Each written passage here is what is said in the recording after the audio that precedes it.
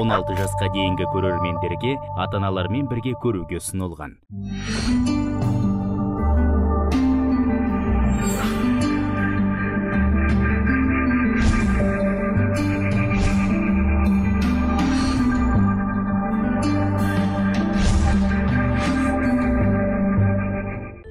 Жалпы павлодар облысында 90-нан астам мешіт болса олардың алтауы қаланың өзінде орналасқан. Шаһардағы сол құлшылық орындарының бірі әбу бәкір сыддық мешіт медресесі. Олай аталуының себебі мешіт ауласында еліміздегі имамдар дайындайтын тоғыз медресенің бірі орналасты. Шәкірттерге өз алдына ғимарат тұрғызылып өзге жаққа көшірілгенге дейін бұл мешіт дін ілімдерінің ошағы ретінде жұмыс істеп тұрды.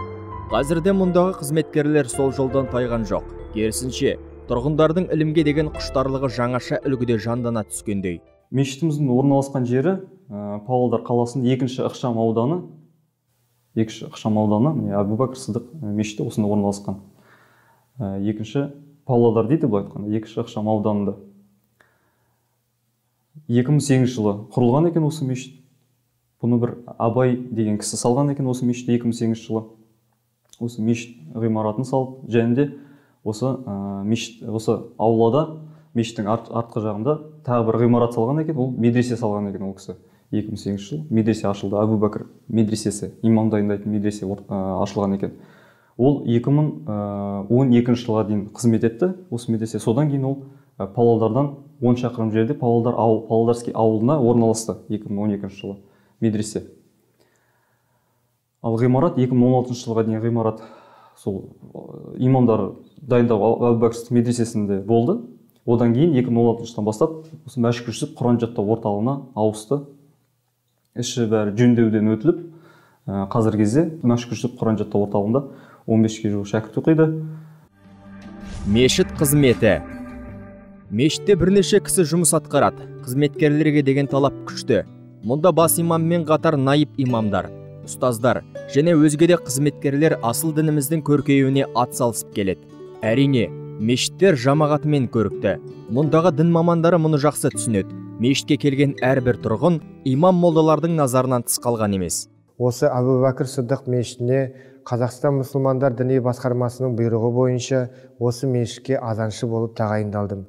Осы мешітте әбу бәкір сыдық мешітінде істеп жүргеніме міне бір жылдай бір жылға таяп қалды. Осы мешітте азаншы болып атқарып жүргенде яғни бұнда жамағат көп жамағат өте бес уақыт намазға өте көп келеді. Ә, азаншының міндетін өздеріңіз де білесіздер. Ол азан деген хабарлау яғни шақыру деген мағынаны білдіреді. Осы мешітте бес уақыт бойы азан шақырылып тұрады. Сол азан шақыру міндетін мен атқарып тұрамын. Әрине бес уақыт намаз өткіземіз азаншыларымыз азан шақырады. Енді менің былай айтқанда жұмысым тағы мен өзім найып имаммын және де ұстазбын. Кешке ақшам мен құптан намаздар арасында дәріс жүргіземін жамағатқа.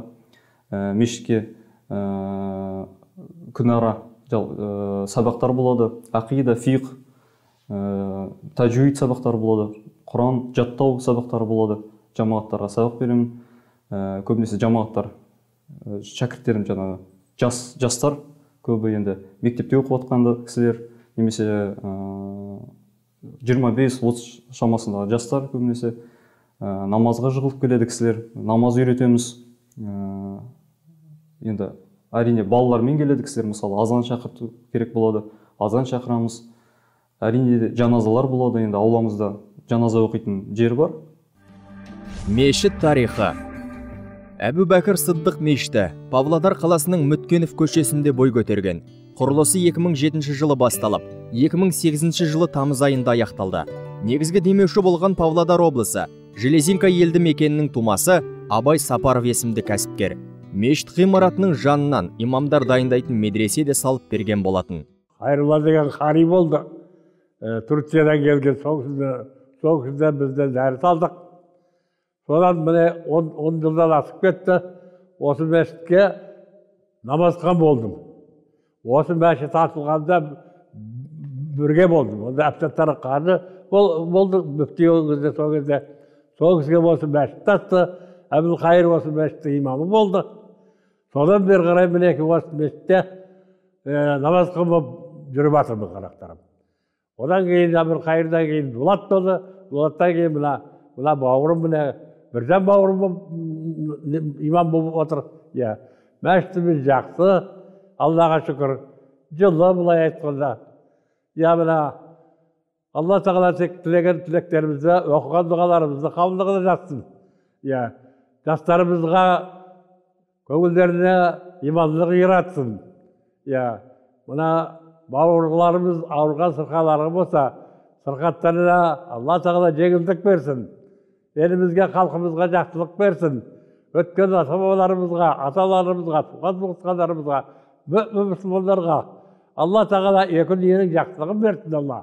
Жалпы павлодар қаласындағы және қала төңірегіндегі көне тарихтың куәсі болған мешіттердің басым бөлігі кеңес дәуірінде қиратылды. Шаһардағы ақ мешіт және бижан мешітінен өзге құлшылық орындар тәуелсіз қазақстанда бой көтерді. Алланың нәсіп еткен тыныштық заманының арқасында павлодар облысындағы мешіттеріміздің саны жүзге таяп қалды.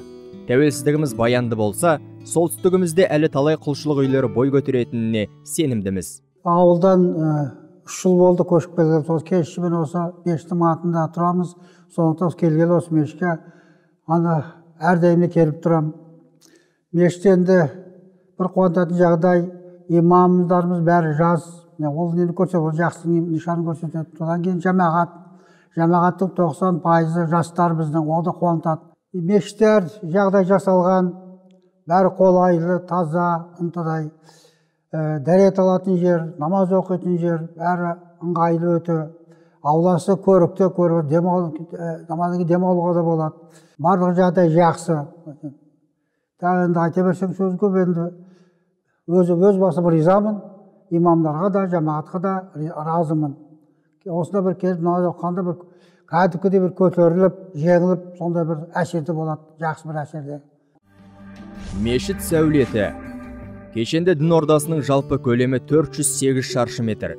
Орналасқан жерінің аумағы да кең ғимараттың биіктігі 12 метр ал қабырғалары 8 қырлы.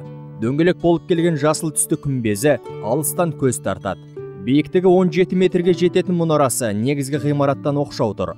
Аулаға кіреберіс жердегі көлік тұрағының кеңдігі де әбу бәкір сыддық мешітінің бір ерекшелігі. Намазханамыз ыңғайлы жинақы ә, жамағатқа бес уақыт намаз оқиды жамағат келіп. Жұма намазында да кісілер барлығы ә, сыяды сыйып кетеді. Жалпы мына бізде екі этаж былай айтқанда. Осы және де қабы астыңғы қабат бар. Астыңғы қабатта құран оқу бөлмесі орналасқан. Ә, жаңа кезекші молдалар отырып құран оқиды. Келген адамдарға осы жұма күні кісі көп жиналады. Ә, жұма күні намаз осы намазхана толы болады. Және де осы құран оқитын бөлмеде намазға ретінде пайдаланылады. Жалпы ыңғайлы мешіт ыңғайлы орналасқан. Аумағы да аса кең емес жалпы тар да емес орташа енді былай айтқанда. Ал енді ішінде сәулетіне келсек мысалы 2008 жылы мешіт салынса ішкі сәул, ішкі жаңағы жөндеуден өтті. Намазханасы да мына мешіттің іші. Күрделі жөндеу 2017 жылы болды. Әбу бәкір сыдық мешітінің жамағатына көбінесе үлкен ақсақалдар да орта жастағылар да және де жастар да көбінесе келіп жатады. Бірақ та э, ең көп басым жамағат ол қазіргі кезде осы жастар көп келіп жатыр. Көп ә, дінге қарай көп бет бұрып жатыр. Осы бес уақытты үзбей мешітте оқуда, оқуларына тырысып жатыр. Осы мешітте әбу бәкір сыдық мешітіне келіп. Ә, мешітіміз өте жақсы. ә, әлбетте жамағаттың да қарым қатынасы да бәрі жақсы. Ә, сауаттар курс ашу сауаттары да бәрі жүріп тұрады. Осы әбу бәкір мешітінің қасында медресеміз де бар. Яғни құран ә, қарилық шығаратын көп шәкірттер дайындап жатыр мешіттің іші қазіргі заман талабына сай әшекейленген. Қазақи нақышта жасалған ою өрнектер мешіт қабырғаларына айрықша сән беріп тұр. Еденге тапсырыс бойынша әзірленген жайнамаз төселді. Сегіз бұрышты пішімде жасалған күмбезге орнатылған зәулім аспалы шам да мешіттің ішкі сәулетіне сән қосады. 200 кісі бір мезетте құлшылық ете алатын мешітті павлодар халқына тарту еткен кәсіпкер бауырымызға мұндағы халық әлі күнге дейін алғысын білдіріп келеді. Осы міне мешітті салғаннан бері осы екінші павлодардың көзі ашылды дегім келеді ғой. Осы қаншама жастар осы мешітке келіп өздеріңіз көрген шығарсыздар жұма намазда қаншама жастар болды. Қаншама жастар қазір әр аяғын темекісін бәрін қойып аллаға құлшылық етуге келіп отыр. Алланың қатарынан аллаға деген сенімдерін білдіріп осыдан біраз болса да дәріс алып аллаға үміт етіп құлшылық етіп отыр. Осы мешітте енді әрбірі келіп өзінің отбасына шаңырағына ағайын туған туыстарына дұға қылады. Сол дұға тілектері қабыл болсын үміттері ақталып жатсын. Осы мұсылмандар көркейіп өсе берсін. Әрине бес уақыт намаз өз уақытымен уақытымен азан шақырылады уақытымен намаз оқылады. Ә, әрине абу ханифа мазхабын біз уағыздаймыз адамдарға. Ә, мешітке қана басып келген кісілерге ә, намазға жырыламын деген кісілерге үйренемін деген кісілерге әрине біз абу ханифа рахимахулла ұстазымыздың мазхабын біз оларға үйретеміз. Және өзіміз де соны оқыдық былай айтқанда. Жамағатымыз жақсы. Ә, әр бес уақыт намазға кісілер жиналады. Бір екі қатардай. Мешіттегі дәрістер жоғарыда айтқанымыздай кезінде мешіттің ауласында имамдар дайындайтын тоғыз медресенің бірі орналасқан болатын. Қазір ол ғимарат мәшһүр жүсіп атындағы құран жаттайтын қарилар дайындайтын арнайы медресеге айналған. Еліміздің әр түкпірінен жиналған бозбалалар алланың кәләмі құран кәрімді жаттау мақсатында бас қосқан. Солардың бірі ермек түймебекұлы. Ол түркістан облысына қарасты төле би ауданынан арнайы келіп құран жаттап жүрген шәкірттердің бірі. Дәл қазіргі уақытта бұл медресеге келгеніме жарты жылдай уақыт болды. Ә, дәл қазіргі уақытта барлығы ә, ойдағыдай аллаға шүкір. Ә, жақсы жаттап жатырмыз. Шәкірттердің көбісі жаңадан келген шәкірттер. Ә, және де ә, бұл жаққа медресеге тоғызды бітірген жігіттерді қабылдайды. Тоғыздың аттестатымен келген жігіттерді екі ай сынақ уақытысымен ә, тексеріп одан кейін барып осы медресеге қабылдайды. Медресеміз ә, өте ыңғайлы өте жақсы. Барлығы ойдағыдай ә, үш мезгіл тегін тамақ жататын жер барлығы тегін. Тек қана бізден талап етілетін талап бұл құран жаттау ғана. Түркиядан келген ә, харун аяз деген ұстазымыз бар жалғыз ұстазымыз. Және де одан бөлек он шәкірт оқып жатырмыз дәл қазіргі таңда. Ә, манас деген бауырымыз ағамыз екі ай үш, үш екі жыл үш айдың ішінде құранды толықтай жаттап бітіріп шықты. Онымен қоса ол жігіт ә, универді қатар университетті қатар алып жүріп жаттап шықты. Одан бөлек бізде ә, қарилықта ә, келген шәкірттер тез арада осыға, осы жаққа сіңісіп ә, бір екі айдың ішінде күніне бір беттеуден жаттауға дәрежесіне жете алады адамдар. Ол әркімнің өзінің ынтасына жігеріне ниетіне байланысты. Жамағат көбейіп жатыр жастар көп келіп жатыр осы жастар келгелі бері міне бірыңғай жастар қазір төрт бес жылдан кейін осы жастар одан сайын көбейеді деп ойлап жатырмын осы жастардың жолдары ашылып әрқашанда алла тағаланың жолында жүрсе деп тағы да өзіміз сезінеміз. Ол әрбір адамның әрбір ата ананың бақыты ғой. Балалары бауырлары бір біріне жақсы көріп бір біріне тірек болса аллаға құлшылық етіп алланың жолында жүрсе жаман мен жақсыны айыра білсе әрқашанда жақсылыққа тартылып жаманшылықтан тыйылып жүрсе қандай ата ана разы болмайды? Біздің әбу бәкір сыдық мешітінде жасаған түсірілім жұмыстарымыз жұма күніне тап келді. Намазда ине шаншыр жер қалмады. Мұның өзі қала халқының әсіресе жастарымыздың иман жолына деген бетбұрысын көрсетсе керек. Тек жұма күндері ғана емес бес уақыт намаздың бәрінде де мұнда жамағат үзілмейді дейді мешіт қызметкерлері. Ылайым солай болғай. Мешіттеріміз жамағатқа медреселеріміз шәкіртке толы болса бабаларымыздың арманы да осы емес пе осы жетістіктердің қадіріне жете білсек сол игі. Алла бізді жүректері мешітке байланған пенделерінің қатарынан етсін деп тілейміз.